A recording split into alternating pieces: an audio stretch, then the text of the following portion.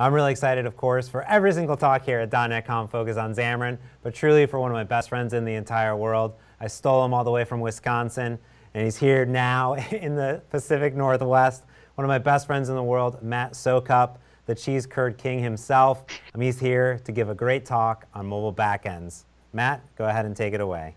All right, thanks, James. That's one thing I really miss about Wisconsin. They don't have here in the PNW that much. It is the cheese curds.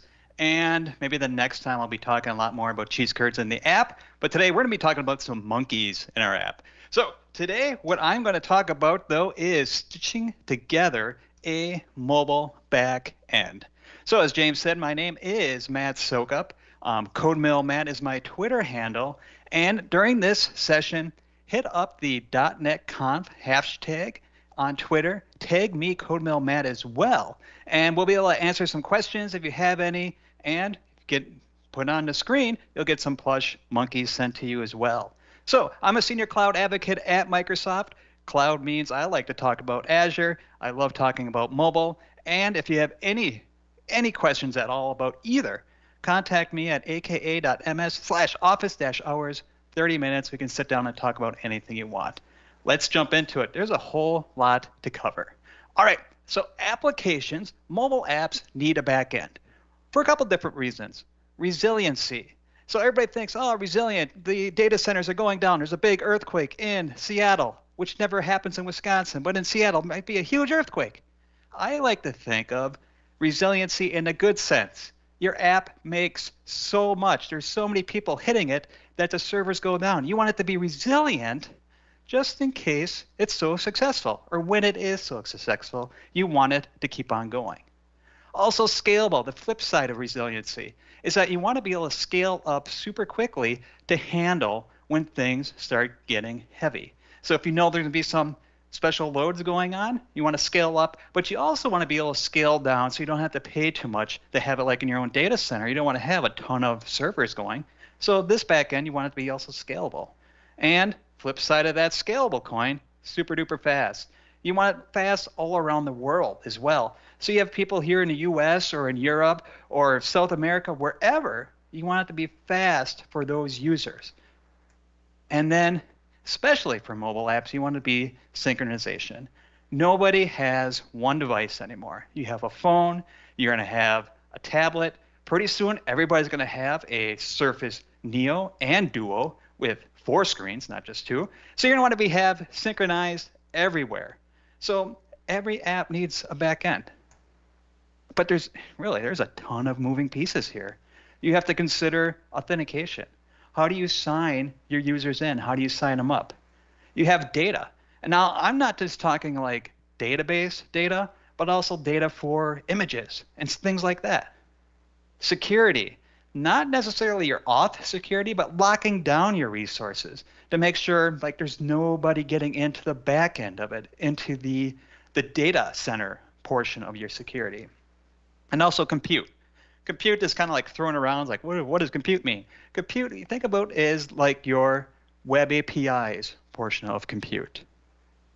So how do all those fit together? Well, we're going to stitch them together. We're going to make all those work. First, we're going to talk about Azure Storage and wrap a CDN around it to make it super fast. Cosmos DB for our data, and it's also super fast because it's Cosmos is spread out across the world. Azure AD B2C. I love me some B2C. I chant it when I go to sleep at night. B2C, B2C, B2C, and Azure Functions.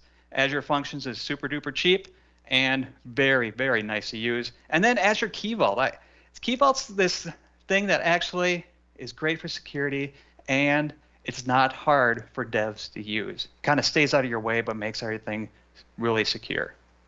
All right, so let's take a look at what we're starting with, or what we're going to Azureize.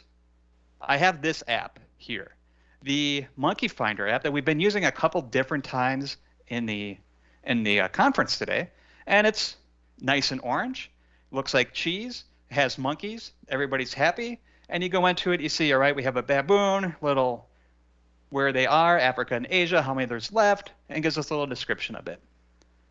This could all be hard coded, but it's not. Actually, it is pulling down from GitHub, and everything is hard coded essentially. That's well, it's a back end of some sorts, but we can do better. We can do totally better, and we're going to.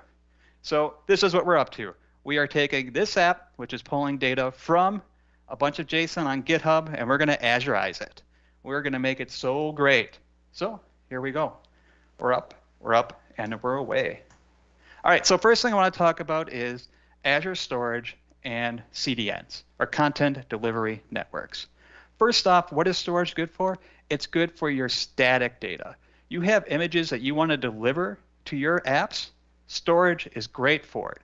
Why? Because it's cheap. It's really cheap. We're talking pennies on the massive gigabytes. It's it's the way to go. And it's great it's great for the images that you want to put on or any other static content blobs. Think about blobs for here and it's really really fast. And with the CDN, it is available worldwide. So let's see how we can really go ahead and start using that. So before, all our images were here. A lot of them were coming just from Wikimedia. So what I wanted to do is get those up into storage. So I already have a storage account created here. And then once I get that, I'm going to put everything into a container. So I'm going to open up the Storage um, Explorer. I have my blob containers, and I have a photo in there too. So I've gone ahead and already uploaded all the photos there. So generally speaking, if you had a bunch to um, migrate over here, we do have like command line tools that can do it for you really, really quickly, but there's only like 10 here, so I did them all by hand. But you can see them, they're, they're all right here. So we, we click on Henry, double click, and there we see Henry with the channel 9 doll there. But everything is here, and everything is great and good to go. But storage, my account here for storage is in the Western US. That's great for us here in Seattle, but for somebody in Europe, it's or in Asia, it's not that great. So what I want to do is wrap a CDN around it to make it even faster. And so one of the great things that Azure Storage does give us, I just typed in CDN here, and it pops up Azure CDN. So it's built right in the storage where I can just click on it, and I've already did it, but I can just do create, give it a name, and so on.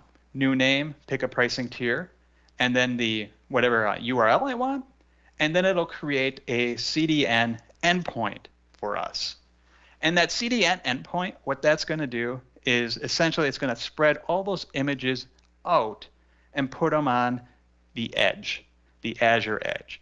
And what that means, they get cached on various data centers around the world, so they're going to be closer and faster to where your users are.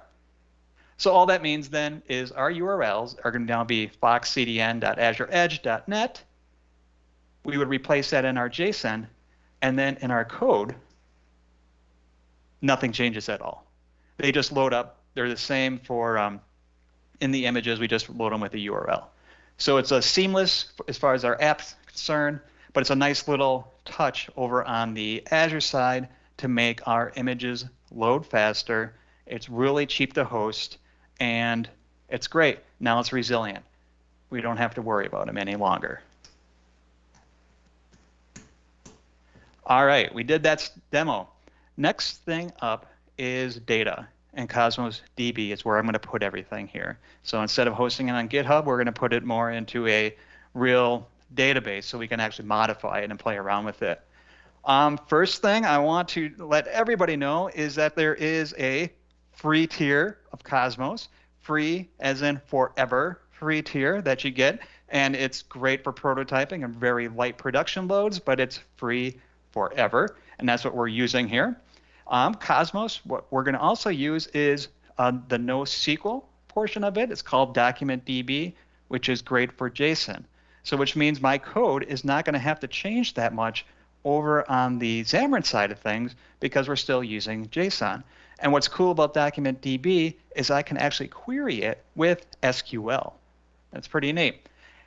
Cosmos also has a really robust security system built in, both for as far as accessing data from a user perspective and also so it can get at various other portions. So like when let's say Azure Functions, which we'll get to, wants to access Cosmos, we can lock that down really tight so nobody else can get in. Has a great .NET SDK, which makes it really easy to use from Xamarin Apps, and it's also distributed worldwide. That way, again, we have multiple read points around the world. Wherever our users are, they can get at it. So we want to take a look next up at our Cosmos DB. So back into Azure, and I'm going to open up Cosmos here.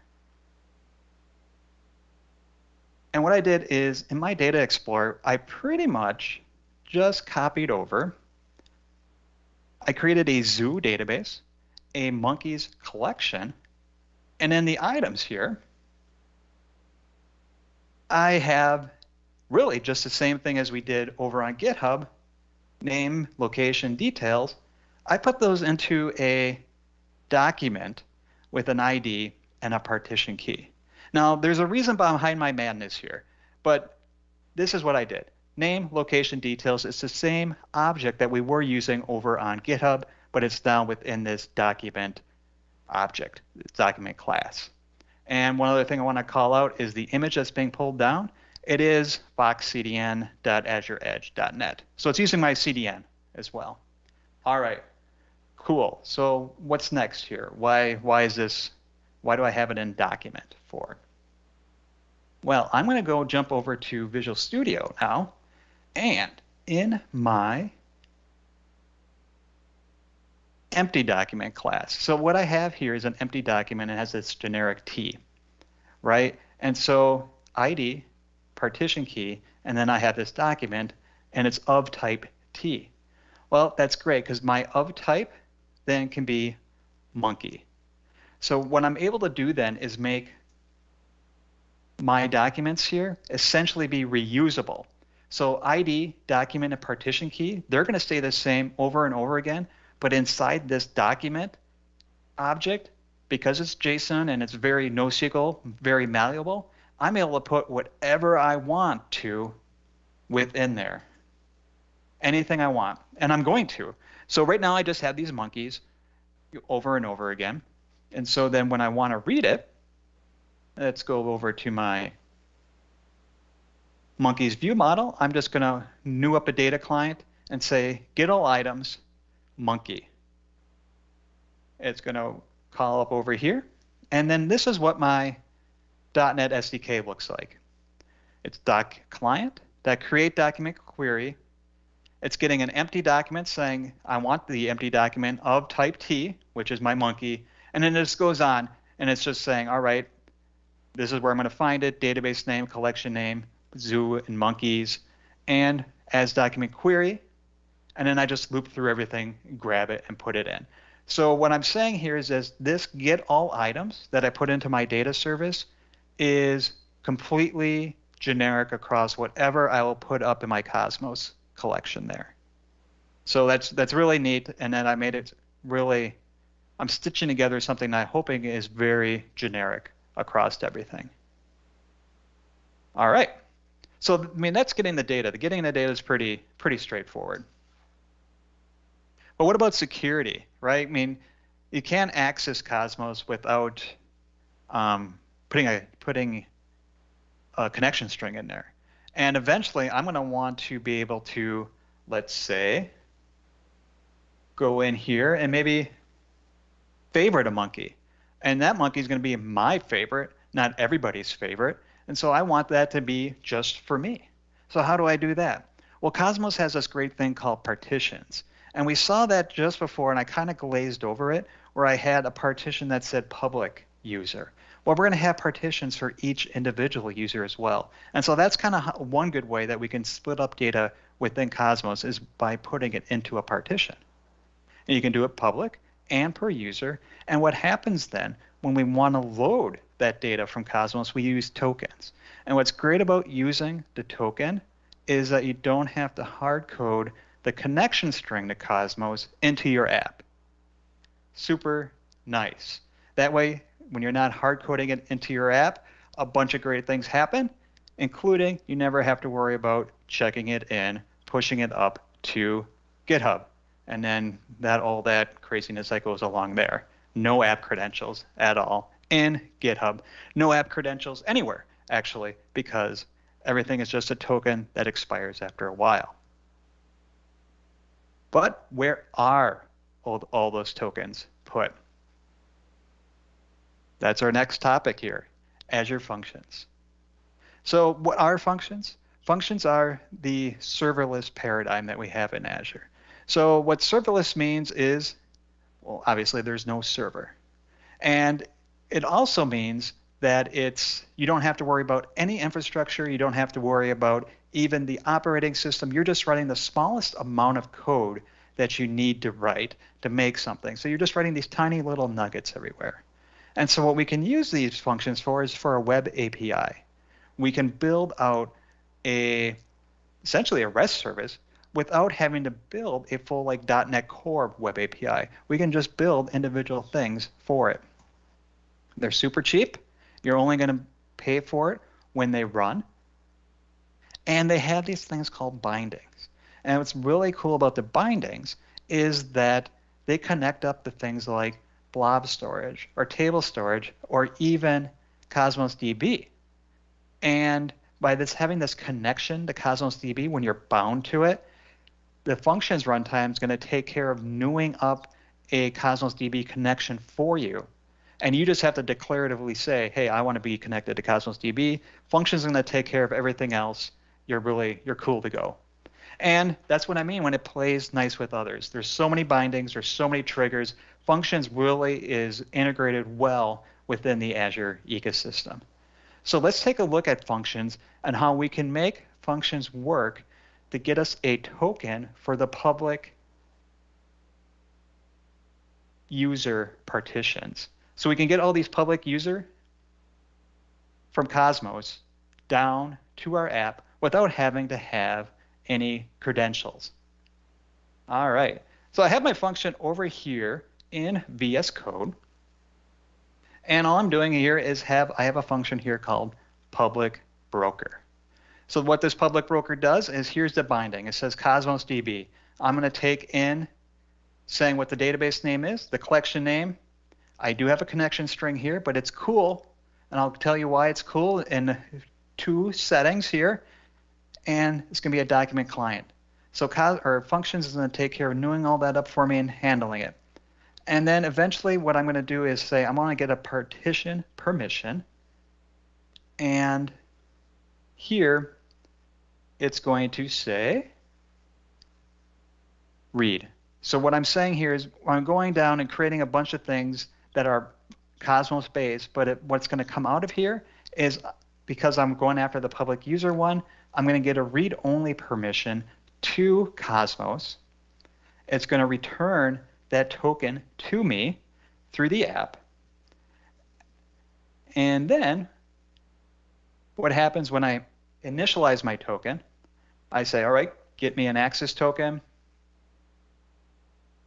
My app then says, all right, when I initialize the Cosmos client on app, it goes out, hits that endpoint for the function, gets the token back, and then it uses that token right here when it news up the client. So essentially all I'm doing is hitting this endpoint, getting the read-only partition for my public users, and it comes back to the document client, and that's all I can access because that token is only good for that particular partition. Cool. But like I said, I'm going to want to have more than just that, right? I'm going to want to enter data myself and my identity. And that's where Azure AD B2C comes in. And B2C is identity as a service, right? We let Azure handle all the hard stuff. We let them actually encrypt all the data, all the users' identity, have it up there.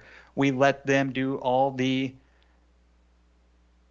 communication back and forth to all their identity providers and so on. It's identity as a service. We just have to worry about running our apps. It's aimed at consumers, right? So when you think of Active Directory, usually it's enterprise based. AD B2C is consumer based. You don't know who your users are beforehand. B2C lets them sign up for your app. They can even sign up with social accounts. So like Google, Google or Twitter, they can come up and say, all right, I don't want to create a username and password. I have a Twitter account. Let me log in with that. You're good to go with B2C. It is based off of Active Directory though, so you do have all that power underneath. And it was mentioned before in Lucy's section, she mentioned authentication. You have the MSAL SDK at your disposal as well, and that's super powerful. It's crazy powerful how actually that is. So, B2C. Let's look at how we can hook all that up. All right. So when you do create a B2C tenant, you get actually a whole other essentially instance to play in. So you notice that my Azure right over here. blue top, my B2C has a black top so I can keep them separated. And what I have then is the ability to log in with my Monkey Finder. So this is my app to log in, and this is my API to log in with. So this is the Azure Functions, and this is the app that I'm going to log in with. So by registering those two, what I can do then is have this user flow. And so what the user flow is, essentially, is a way for me to go through and sign in. And I'm just going to say run user flow. And it allows, allows me to sign in. So I can do matt.soukup at microsoft.com and my favorite password, ABCD1234 exclamation point, and sign in. And this directs me back, and here I get this big token back who, when you look at the claims, identifies me for who I am. See, my given name is Matt, and it tells me what I logged in at, and it even gives me an access token hash.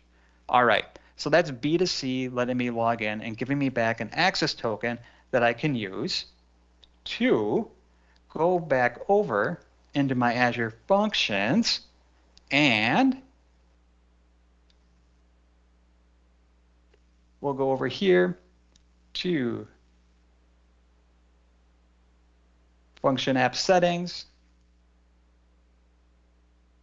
authentication authorization. What I do is I have this set up, configured, advanced, and so I have this calling back to B2C. So essentially what I did, I said, all right, Azure Functions, here's the information that you know to go talk to B2C. And so when B2C does call it, it's going to pass it this information, or my app calls, it's going to pass it this information.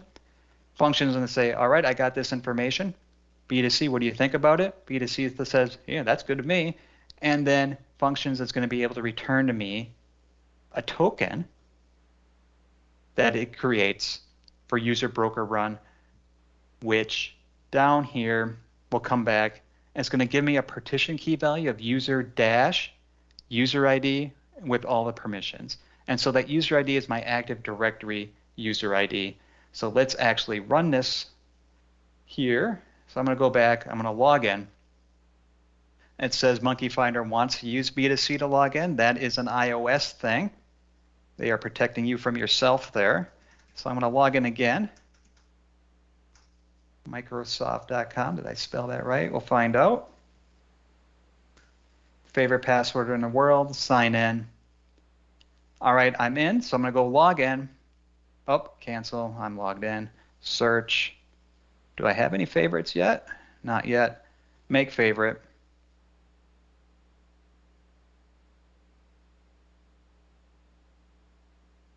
Maybe not. Let's see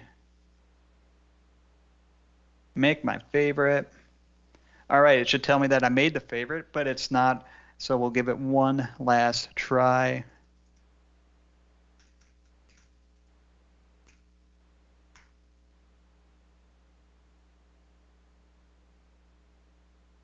All right, it is my favorite, so I'll delete it already. All right, so I never liked Baboon anyway. Make my favorite. All right, yeah, I love you, Baboon. I love Baboon, so I'll go over here to VS Code, browse Azure, refresh, and you can see I have another Baboon in here, and my partition key is that, that's my user ID, and you can see in my name, document, is just monkey name. So I really just made it whatever I wanted to. All right, so I'm getting near time, but I'm almost done. And So that's B2C. But let's let's make things a little more secure, and that's what Key Vault does. So Key Vault's really for secrets management. Think connection strings. It uses Azure Active Directory on the back end, which means apps can have access, but your users or the bad people don't. So let's see this really quick in practice. And so what I have here, I'm in my Azure Functions, and if I go down to configuration, I can see everything. And if I go to Cosmos configuration, you'll see here it says Key Vault reference. Well, what does that mean? If I do advanced edit, you see I'm using Microsoft.Key Vault, and I have this URI in there. So where my Cosmos connection string is, it's actually reading from Key Vault here. And if I would actually go through and try to open up that URL,